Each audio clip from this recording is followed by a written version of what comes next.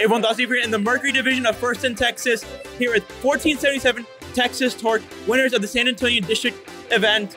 Really amazing robot with a pivoted robot system, pivoted intake, really unique, and a special trap mechanism as well. I'm really excited to get down here, here on Behind the Bumpers. This video on fun is brought to you by viewers like you and also in partnership with the following. AndyMark is your one-stop shop for all your robotics competition needs. Celebrating 20 years of quality robotics parts and superior service, AndyMark employees have over 200 years of first-team experience. From mechanical and electrical products to tools and hardware, head on over to AndyMark.com for high-quality and affordable solutions. Support Fun's content creators when you sign up for a membership on YouTube Join. You'll get access to special perks like emotes, loyalty badges, and Fun members will even get early access to our scheduled videos and more. 100% of this revenue will go back to our correspondents to help recognize their efforts. Click the join button in any YouTube video to pledge your support. John, I want to start off with you talking about your intake. It seems like you guys have an over the bumper intake. What was the idea behind that, and why did you guys decide to do that? Yes, of course. So early on this the beginning of the season, when we found out that we had to intake these notes from the ground, we knew that we wanted to have a full width um, intake and have that touch and go intake where we'd be able to quickly intake the note and put it in some sort of magazine or a shooter system, which we hadn't come up with. And when as we started prototyping our intake, we realized that a front two front compliant wheel rollers were the best way to shoot the note right over a bumper and we also experimented with under the bumper and different styles of intakes. But we realized that with the packaging that we wanted to do for this season, that a over the bumper intake was going to be the best way.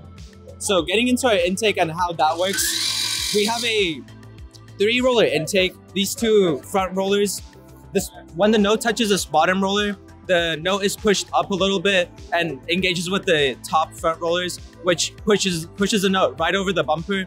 And as it hits the Versa roller, here, it goes right into our shooter. So, Nick, do you want to run the?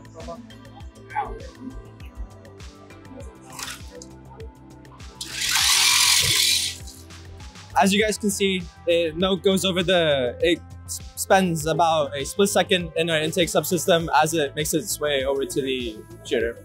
Now, perfect transition into the shooter. Sophia, talk to me about your shooter mechanism. Seems like it just goes straight into your shooter and then just goes down and then shoots. Talk to me more about it.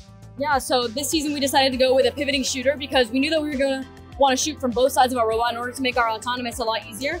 Um, so we have uh, a shooter on a chain pivot over here, uh, which is powered by a Max Planetary, and we feed from the front, which is different than most other teams because uh, we weren't really sure how we wanted to feed into our shooter at the beginning of the season, and we found that if we have gate wheels at the back of our shooter, right down here, we're able to hold the note inside um, inside of our system whenever until we're ready to shoot and our flywheels can rev up independently from them.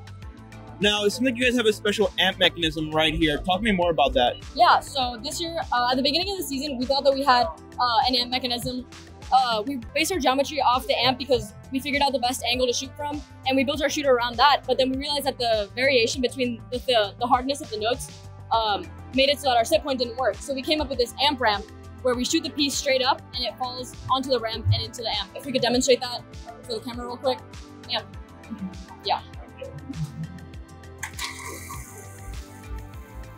Yeah, so we've been able to successfully uh, slide our notes right into the amp. Now, you guys also have a special trap mechanism. Talk to me about that. Yeah, so uh, since our climber is able to pull us so uh, super low, uh, as Anish is going to talk to us about later, we're only 20 inches away from the opening of the trap. So we have a hook mechanism uh, that we're going to demonstrate real quick that's powered by surgical tubing and, and held in by a pin until we're ready to climb.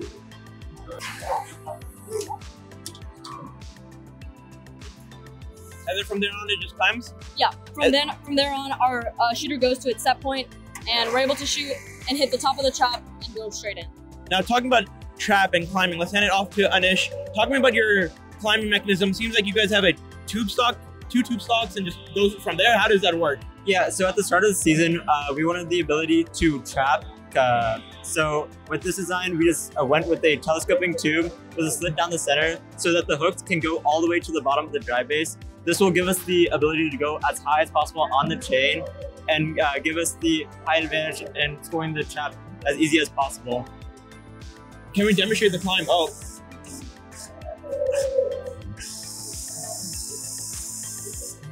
One thing to note is, unlike other climbs, our climb is powered by uh, a max planetary in the back with a 90 degree, and also instead of bearings, it is it uses linear bushings uh, that slide along the insides of the tube and allows it to uh, go up and down uh, smoothly.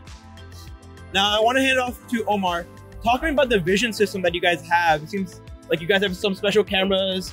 Tell me more about it. Yeah, sure. So this year we're actually running a custom vision solution that is running a Python script that handles the April tags. So that is running right here in the center of our robot under uh, our rotary motor. It's this NVIDIA Jetson. I have uh, one right here. You can take a look at it. So this is a Jetson Orin NX. So this is um, runs a big old GPU that lets us do some cool note detection. So something that we knew going into the season is that really knew vision was going to be a big part of this game. And it would allow us to compete with some of the California teams doing some crazy stuff like 971, Code Orange, Red. So we spent a lot of time in the off season with R&D on different co-processors and different programs to see what would work best give us the most flexible solution to allow us to put cameras all over our robot and give us a really good field of view to see the April tags and get a really accurate pose. So right now in the robot, we're running two of these cameras.